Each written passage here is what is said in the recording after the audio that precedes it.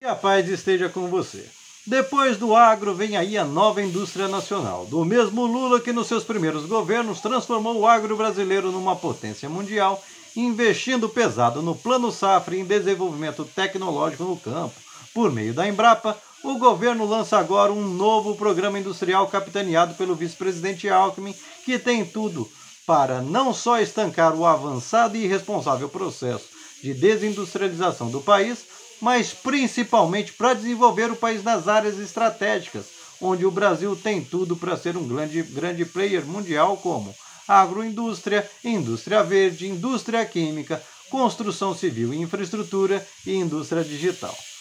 Por meio de um grande programa que envolve maciços investimentos na ordem de 300 bilhões de reais, numa espécie de plano safra da indústria, investimentos em pesquisa, priorização de compras estatais nacionais, desburocratização, entre outros, com ações que proporcionaram o grande desenvolvimento econômico, tecnológico e científico em países como China, Coreia do Sul e Estados Unidos, o Brasil dá um passo sólido para superar definitivamente a maldição da dancinha da Xuxa, onde o país dá um passinho para frente e outros dois para trás.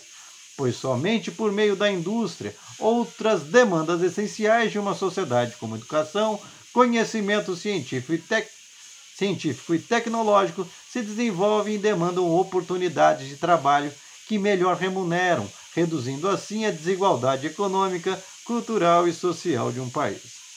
Que as vozes do atraso, umbilical e ideologicamente ligadas aos grandes agiotas nacionais e internacionais rompam em histeria contra esse plano que garantirá o desenvolvimento do país é ótimo sinal pois fica claro que os tempos de mamata, de viver de juros, rentismo e exploração brutal do povo e do país estão com os dias contados. Enfim,